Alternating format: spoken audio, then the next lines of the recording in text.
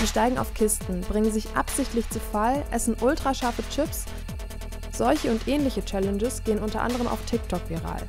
Es sind Mutproben, die auf den ersten Blick harmlos aussehen, doch viele der Challenges sind gefährlich.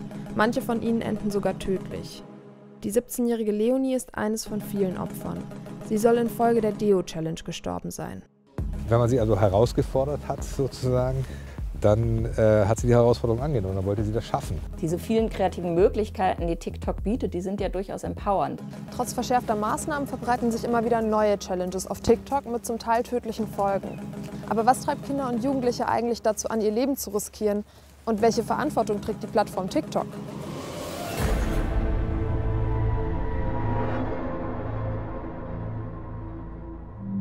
Im Januar 2023 befindet sich Leonie auf eigenen Wunsch hin in einer Reha-Einrichtung.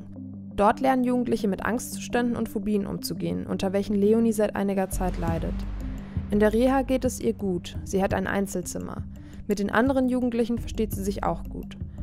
Doch am Morgen des 30. Januar wird sie tot in ihrem Zimmer aufgefunden. Was ist passiert?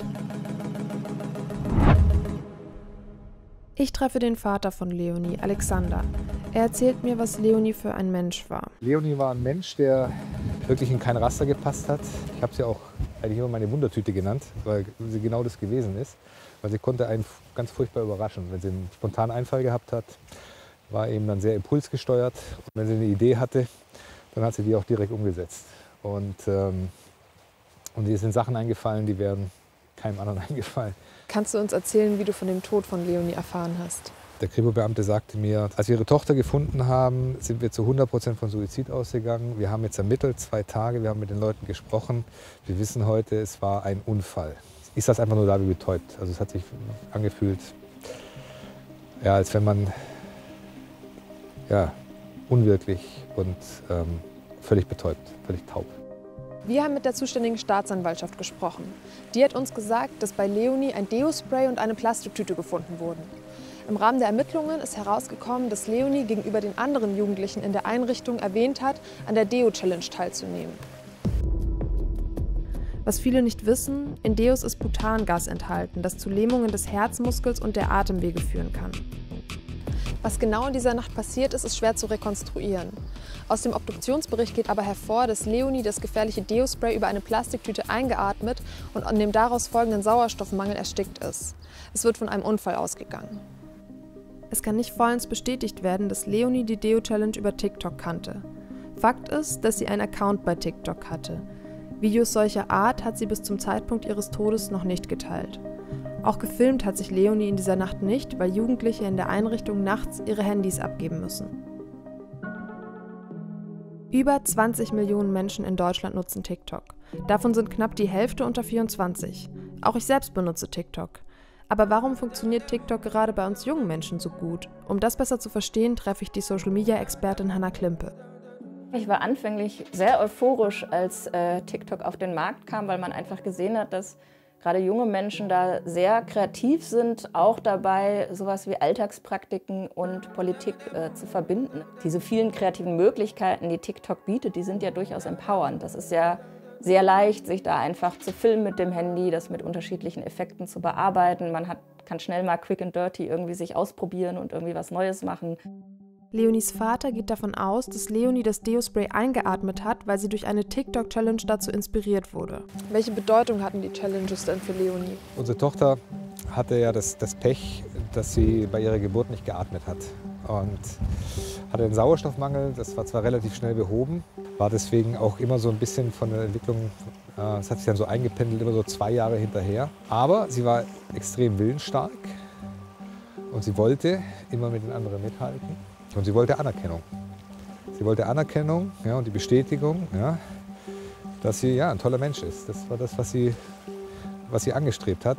Das ist ja genau das, was diese TikTok-Challenges eben auch machen, dass andere Menschen sich diese Videos angucken und dann kommentieren. Und deswegen ist es völlig klar für mich, dass sie das unglaublich gereizt hat. Leonie hat die Gefahren, die von solchen Challenges ausgehen können, unterschätzt. Dabei ist sie kein Einzelfall. Auch der 15-jährige Felix aus NRW soll im September 2023 an den Folgen der Deo-Challenge gestorben sein. Für seine Familie ist das ein unbegreiflicher Schock.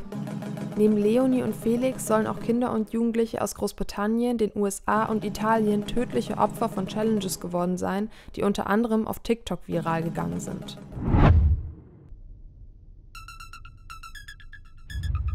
Eine weitere extrem gefährliche Challenge ist die Blackout Challenge. Diese Challenge hat plattformübergreifend existiert und weltweit zu Todesopfern geführt. In den USA sollen im Februar 2021 die neunjährige Ariani und im Juli 2021 die achtjährige Lelony daran gestorben sein.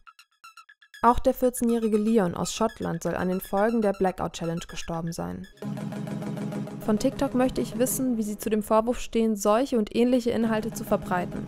Eine Pressesprecherin lässt mir dazu schriftliche Informationen zukommen.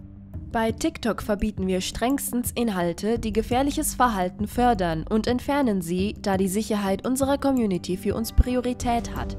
Wir haben eine Technologie entwickelt, die unsere Sicherheitsteams bei einem plötzlichen Anstieg bei gegen unsere Community Guidelines verstoßenen Inhalten in Verbindung mit Hashtags alarmiert, um potenziell schädliche Trends zu erkennen.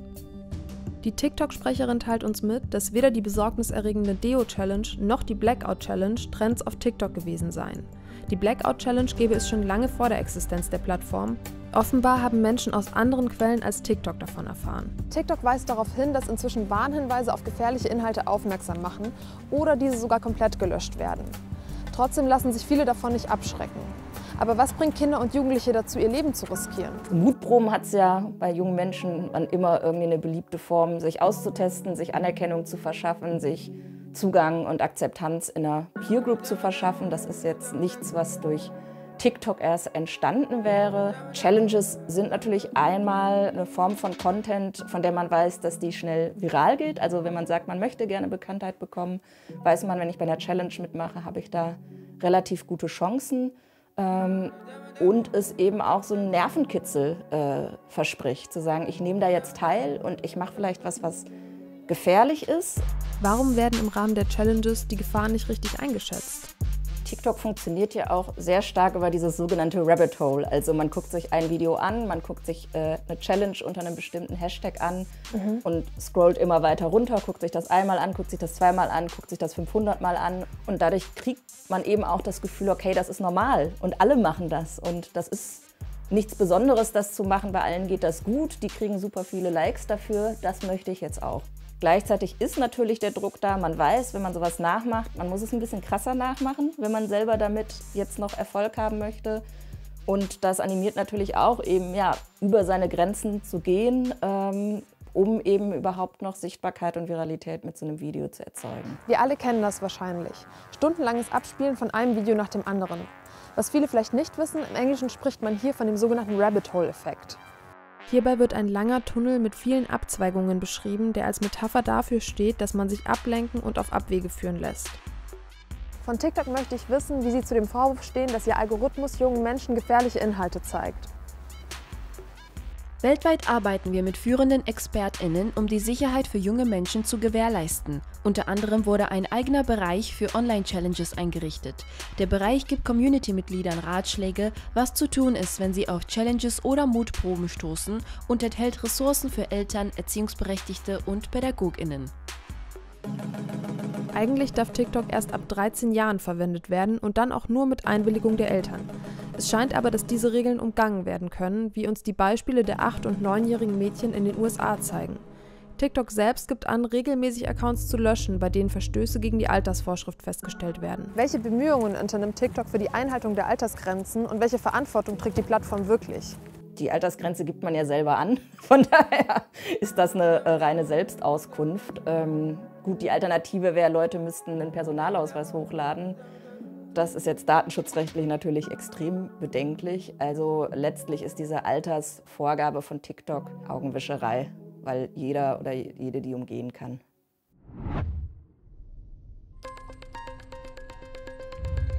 Und ein Unternehmen wie TikTok sollte entweder seine Dienstleistung sicher machen, speziell für Minderjährige. Und wenn es das nicht gelingen sollte, ja, dann tut es mir leid. Dann darf das, nach meinem Dafürhalten dürfte das Unternehmen dann nicht mehr äh, am Markt tätig sein. Leonis Vater möchte nicht gegen TikTok klagen, weil er befürchtet, dass ein Prozess sich in die Länge ziehen würde und nur geringe Erfolgschancen hätte.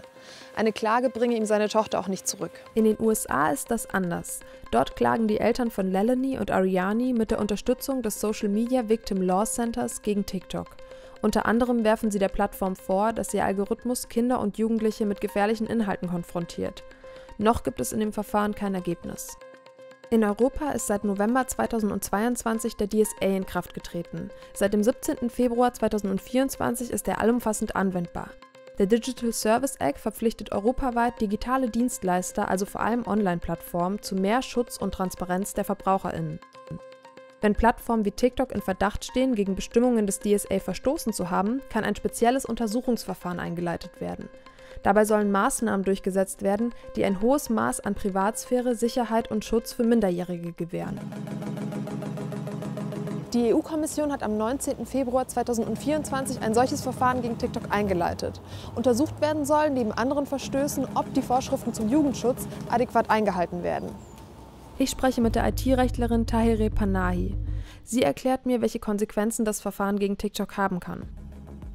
TikTok als Online-Plattform ist natürlich eine Blackbox mit eigenen Geschäftsbedingungen, mit eigenen ähm, ja, Geheimhaltungsinteressen und legt natürlich nicht die eigenen Funktionen und Algorithmen einfach so offen. Durch diese Untersuchungsmaßnahmen, die die EU-Kommission jetzt hat, zum Beispiel zur Prüfung von Büchern, Betretung der Geschäftsräume, Anordnung von äh, Mitarbeiterinnenbefragung und so weiter oder sogar auch äh, Prüfung der Algorithmen, da ist eben ein Blick in diese Blackbox möglich und kann die EU-Kommission erstmal in die Lage versetzen, wirklich eine empirische Grundlage zu haben für diese Verstöße.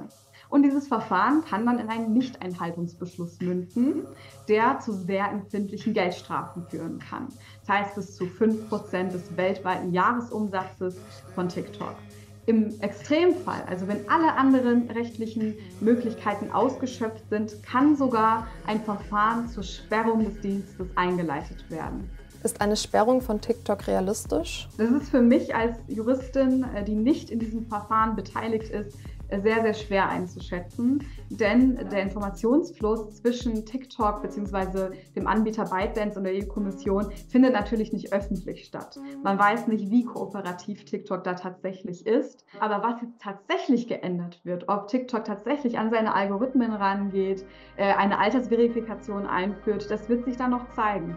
Wie lange das Verfahren dauern wird und wann es zu einem Ergebnis kommt, ist zu diesem Zeitpunkt noch nicht klar. Egal wie das Verfahren ausgeht, es wird Alexander seine Tochter nicht zurückbringen. Er hofft, dass TikTok dadurch strengeren Regeln unterworfen wird und seine Inhalte so anpassen muss, dass sie keine Kinder und Jugendlichen mehr gefährden. Gefährliche Challenges wie die Deo-Challenge oder auch die Blackout-Challenge sind auf TikTok inzwischen gelöscht und dort nicht mehr auffindbar. Dabei ist davon auszugehen, dass es nur eine Frage der Zeit ist, bis wieder eine neue Challenge auftaucht. Erst vor ein paar Wochen soll ein elfjähriger Junge aus England an den Folgen der sogenannten Chroming Challenge gestorben sein. Bei der geht es darum, giftige Dämpfe wie die von Nagellack einzuatmen.